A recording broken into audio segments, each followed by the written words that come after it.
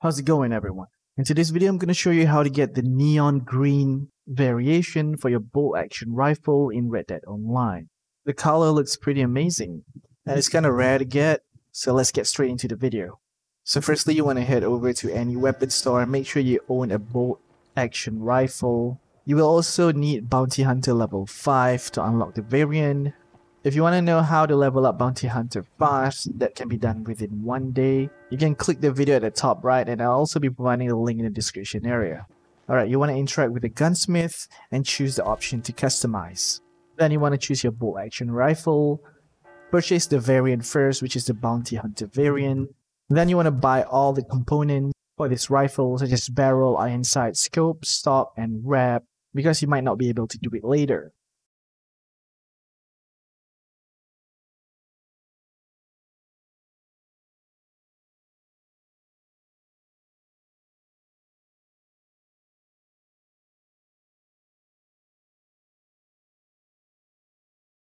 Once you've done that, you want to go to variants and select the no variant. You need to make sure that the white check mark is selected no variant and then go down and choose bounty hunter by pressing X or enter if you're on PC to equip the variant and quickly press circle or escape to back out. As you can see I failed here. You need to make sure the wood components is not grayed out. So you just have to repeat the steps. Go to variants, select no variant and then quickly select bounty hunter variant and back out.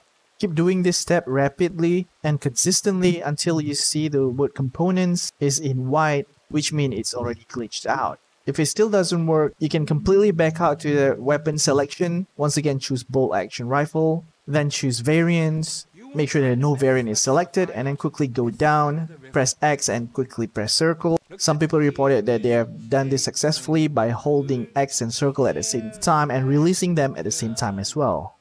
As you can see here, I managed to do it successfully by selecting quickly select the bounty hunter variant and back out. As you can see, the wood components is now in white. Once this happens, you want to quickly select components and choose the stock. You can choose any variation of the color here by changing the stock. Make sure you equip it and then just simply back out. Now you successfully obtain the neon green bolt action rifle in Red Dead Online. There's another method to get the white one, but unfortunately it is patched by Rockstar. I'm not sure if there's new method or not.